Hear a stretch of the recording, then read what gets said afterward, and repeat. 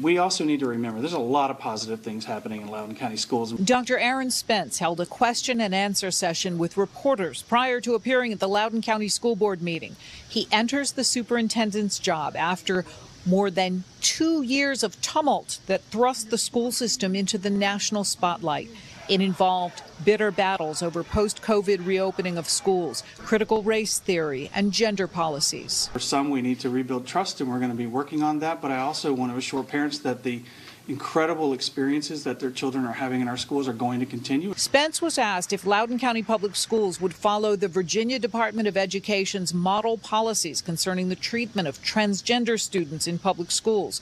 It calls for school officials to defer to parents in decisions about their child's identity. We need to analyze the policies in their whole and see where they are compliant with state and federal law. And if they're compliant with state and federal law, we will implement them. If there are any issues with that, we need to work with our school board through those issues and figure out how do we meet the spirit of what may be in the model policies without violating state or federal law. Advocacy organization Equality Virginia has strongly opposed implementing the model policies. And we really need to be investing in our public schools right now, you know, paying our teachers well, getting them the resources they need.